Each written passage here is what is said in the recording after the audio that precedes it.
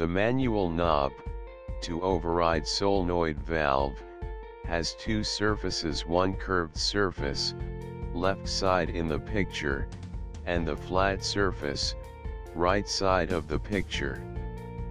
Curved surface pushes the valve upwards, which is operated by solenoid, keeping the valve permanently open.